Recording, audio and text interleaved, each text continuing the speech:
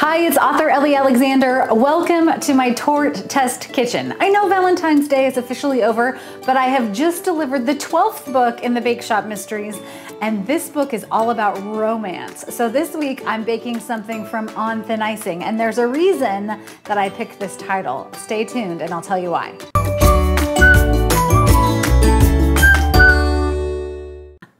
Welcome to my Torte Test Kitchen. I'm so happy to have you here with me this week, and I'm in super celebratory mode because I just delivered book 12, book 12 in the Bake Shop Mysteries to my editor. Jules is finally gonna decide what she's doing with her love life, so I wanted to stick with a romantic theme. But I also wanna give you a sneak peek at the title.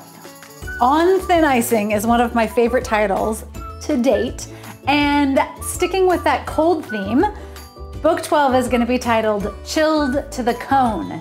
Can you guess what that book is gonna be about? But in the meantime, this week I am making my favorite recipe for a roast chicken. It's perfect for winter. It's perfect for a, a romantic dinner. Pop open a nice bottle of crisp wine or sparkling cider, pair it with some potatoes, and you're good to go. My mouth is watering, so let's get to it.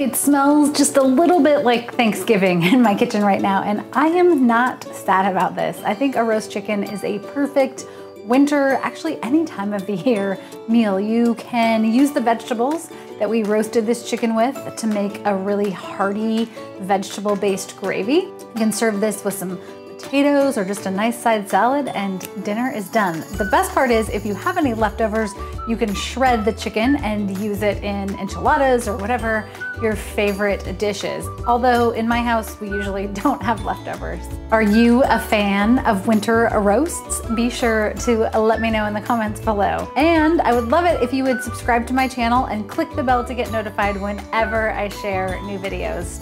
Happy baking!